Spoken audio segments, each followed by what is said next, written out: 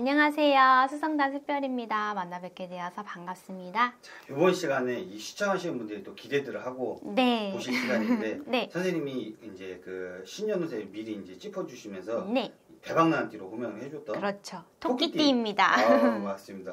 요 이제 두 눈 부릅뜨고 보실 텐데 네. 토끼띠 분들 신년운세가 어떻게 또 진짜 어, 펼쳐질지 한번 또 말씀해 네. 주세요. 우리 2023년에 아, 나 토끼인데 토끼니까 잘 되겠지 하고 기대하셨던 분들 중에서 실망하셨던 분들이 7, 80%는 넘을 음. 걸로 보이는데요. 여러분 실망하기에는 올해가 있습니다. 음.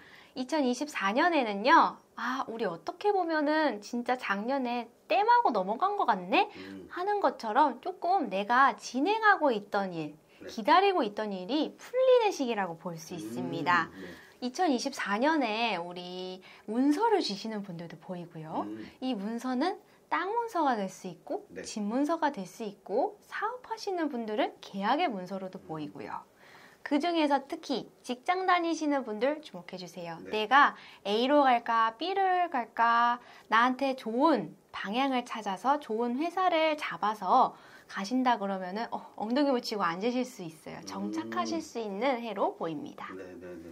어떻게 보면은 금전으로 조금 좋은 소식이 많이 들려오는 토끼띠인데요. 네. 근데 한 가지 단점은 몸으로 치고 치고 치던 게 뻥 하고 터질 수 있어요. 음, 내가 이게 의학적으로 설명이 되는 그런 건지 네. 아니면 심적 때문에 그런 건지 그냥 방치하고만 계시지 마시고 분명히 의사 선생님께 찾아가 보세요. 음, 지병이 있으신 분들도 내가 그냥 방치하고 있으시면 약이 한 개더 드실 수 있어요. 그게 조금 안 좋은 점으로 보이네요.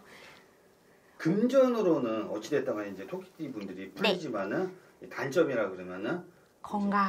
이게 돈을 너무 열심히 벌다 보니까 안 좋아지는 그렇죠. 내가 어떻게 보면은 열심히만 열심히만 하면 되겠지라는 생각으로 달려오신 분들이 많으세요.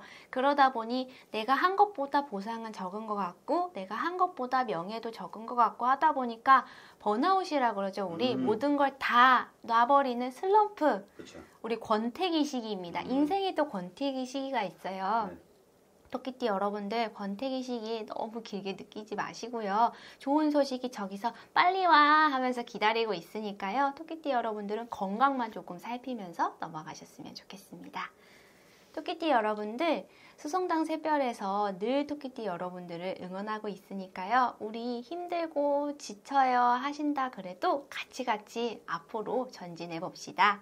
여러분들 2024년에 건강만 조금 조심하시고 제가 말씀드린 좋은 점만 아 나 좋아 좋아 좋아 안 기분이 안 좋으시면 좋아 좋아 좋아 그 점 있다 그랬어 하면서 파이팅 하시면서 나아가시길 수성당 새별에서 응원하겠습니다. 고맙습니다.